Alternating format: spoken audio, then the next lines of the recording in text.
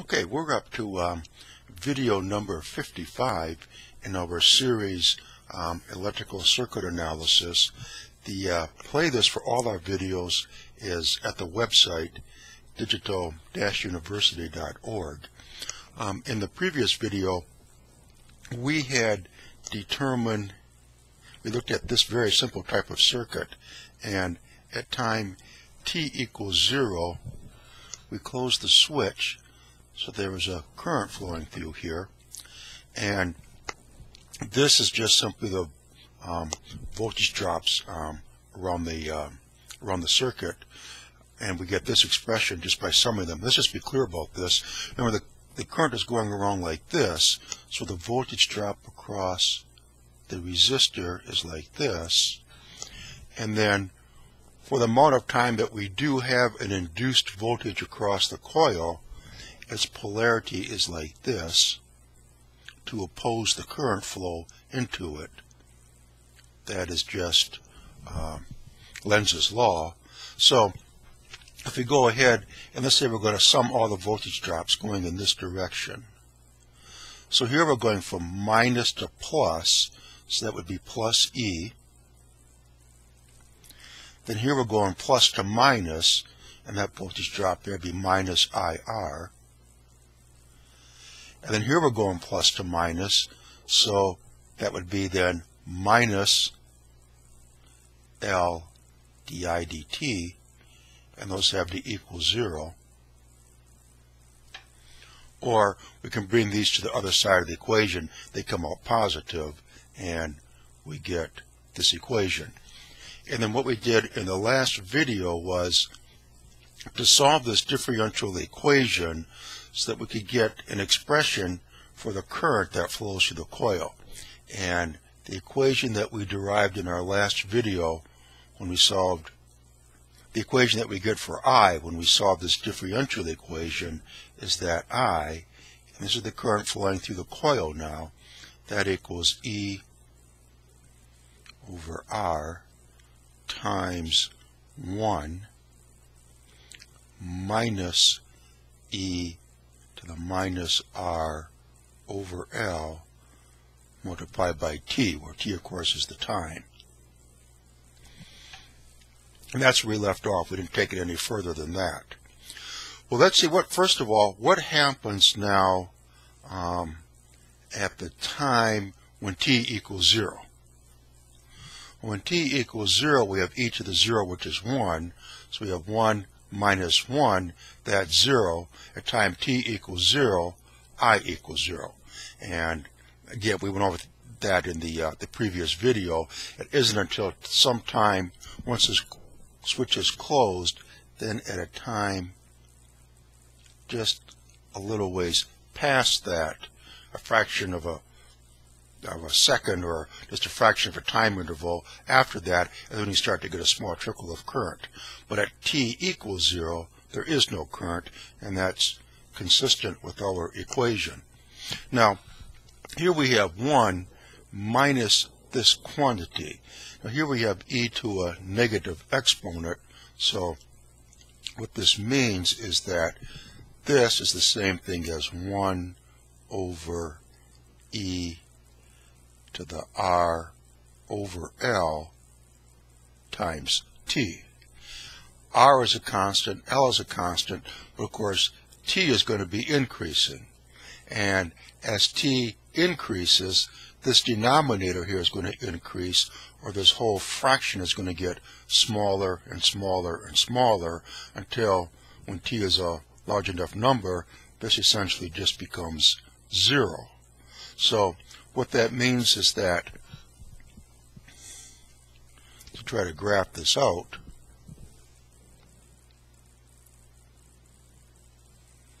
this is time, this is the current flowing through the coil. At time t equals 0, that's 0. Given that t is 0, this is each of the 0, which is 1. 1 minus 1 is 0. But then as we go through time, the number that we're subtracting from 1 becomes smaller and smaller and smaller. So the current goes something like this then. until it reaches this, I guess you would call it a steady state value of E over R. And of course, that's what we would expect. We have this simple circuit. Um, what, would, what would be the current flowing through it? It would just be E divided by R. But through the coil, it doesn't change instantaneously. It goes through this curve right here, which is predicated upon this equation right here. Now what about the voltage drop across the coil? That is equal to the inductance times di dt. Well, we know what I is. That's this. So we can take the derivative of this to get this expression. So VL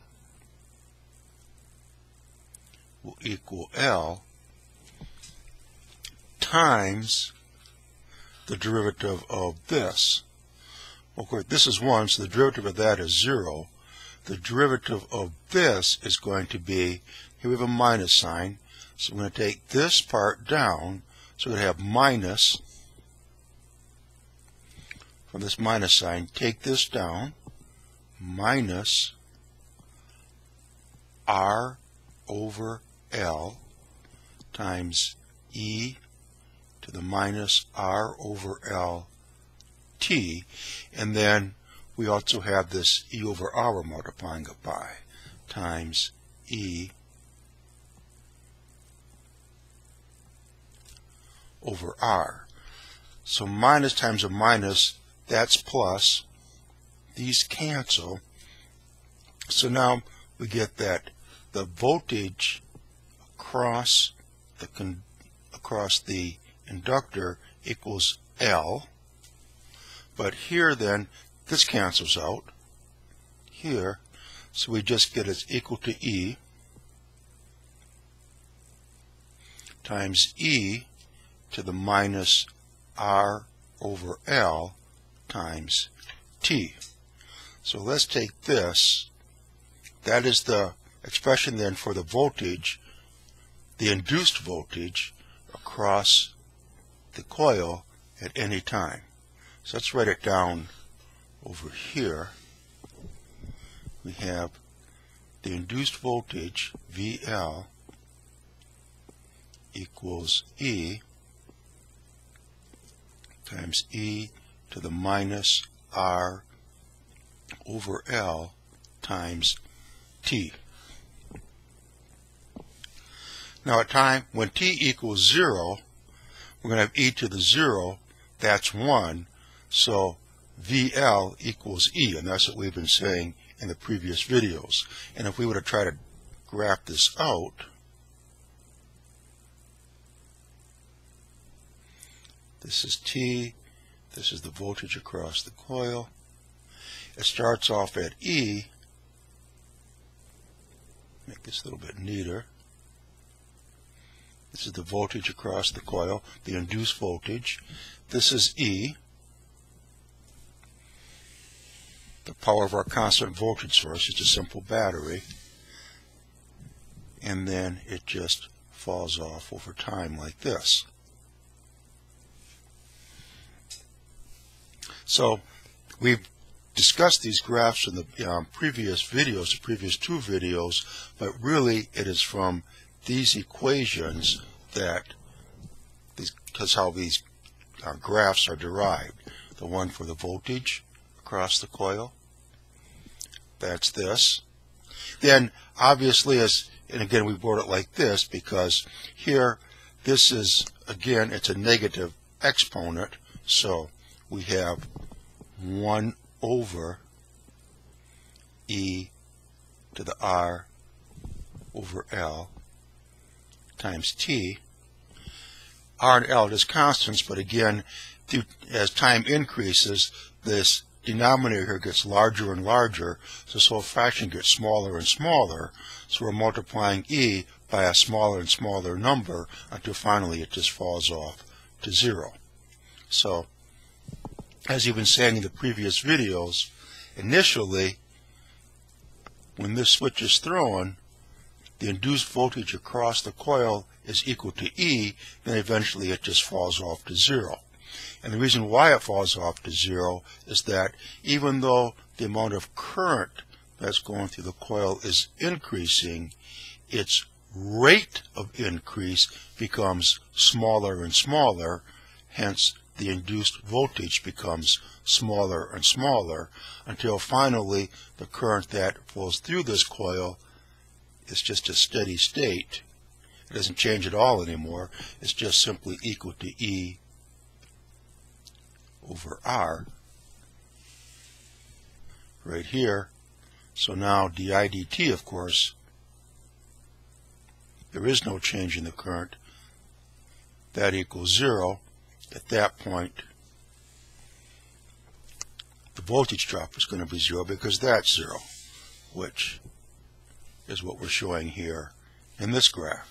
So again, uh, same concepts of what we've been talking about in the previous videos, but as we said um, in this video number 55 and video number 54, we want to be a little bit more analytical. And to do that, we had to use some calculus um, to solve the our differential equation here. And even though, and we had to do that even though we have you know, a constant voltage source here, what happens is that as the current is increasing, before it gets to a steady value, this gradual increase in the current across the coil, sometimes that's called a transient current then, because it just comes out to a steady value eventually. Okay, that's all I want to say in this video.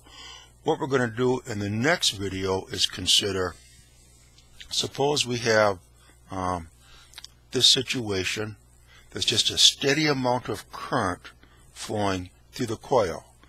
So what that means is that there's a magnetic field across the coil, but it's no longer growing, so therefore it's no longer cutting across these lines, therefore there's no longer an induced voltage, but there is a magnetic field across this coil. Now suppose then that we're in this situation where here current is steady. It just equals E over R. There is no more induced voltage across the coil. That's zero. But there's still a magnetic field in this coil that exists. It's just simply a static. It's not growing anymore. Well then, suppose that